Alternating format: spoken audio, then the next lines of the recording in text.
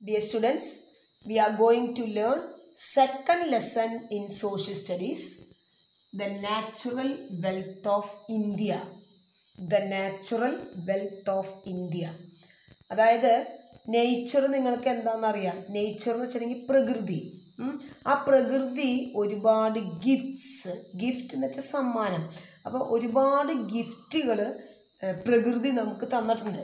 നമ്മളത് അറിയാതെ പോകുന്നു മാത്രം. ആ ഗിഫ്റ്റുകളാണ് air water soil plants animals minerals.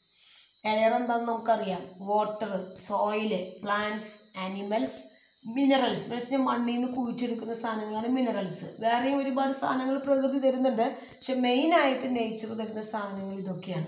Air water ഉണ്ട്. പ്രകൃതിയിൽ സോയിലുണ്ട് പ്ലാന്റ്സ് ഉണ്ട് ആനിമൽസ് ഉണ്ട് മിനറൽസ് ഉണ്ട്. ഇതൊക്കെ ഹ്യൂമൻ ബീങ്സിന് ഉപയോഗപ്രദമായ രീതിയിൽ നേച്ചർ നമുക്ക് തന്നിരിക്കുന്ന സമ്മാനങ്ങളാണ്. അപ്പോൾ ഇതിനെയാണ് നാച്ചുറൽ റിസോഴ്സസ് എന്ന് പറയുന്നത്. അതായത് നാച്ചുറൽ ഗിഫ്റ്റ്സ് നാച്ചുറൽ റിസോഴ്സസ് പ്രകൃതി വിഭവങ്ങൾ. അതായത് പ്രകൃതി മനുഷ്യർക്ക് തന്നിരിക്കുന്ന ഗിഫ്റ്റുകൾ സമ്മാനങ്ങൾ അതൊക്കെയാണ് ഈ air water soil plants animals minerals അപ്പോൾ അതിൽ സോയിൽ എന്ന് പറയുന്ന ആ നാച്ചുറൽ റിസോഴ്സ് അതാണ് നമുക്ക് ഈ ലെസണിൽ പഠിക്കാനുള്ളത്.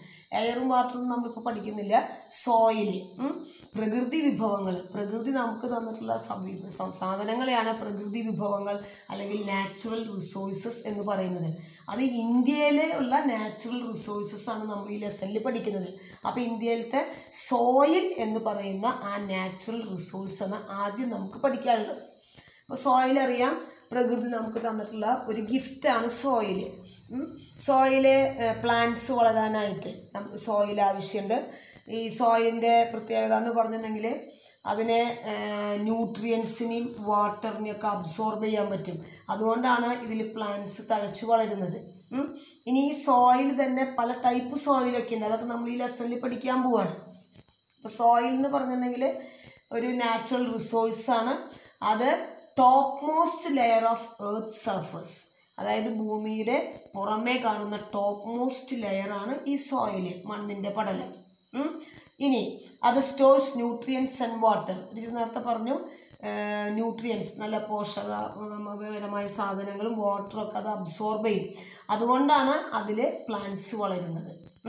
ഇനി ഈ സോയിൽ എങ്ങനെയാണ് ഉണ്ടാകുന്നത് ഈ നേച്ചറിൽ എങ്ങനെയാണ് സോയിൽ ഉണ്ടാകുന്നത് സോയിൽ ഉണ്ടാകുന്നത് പാറകൾ പൊടിഞ്ഞാണ് വലിയ വലിയ പാറ കഷ്ണങ്ങൾ പൊടിയാണ് അതിങ്ങനെ ബ്രേക്ക് ചെയ്യാണ് so breaking up of large rocks അങ്ങനെയാണ് ഈ സോയിൽ ഉണ്ടാകുന്നത്.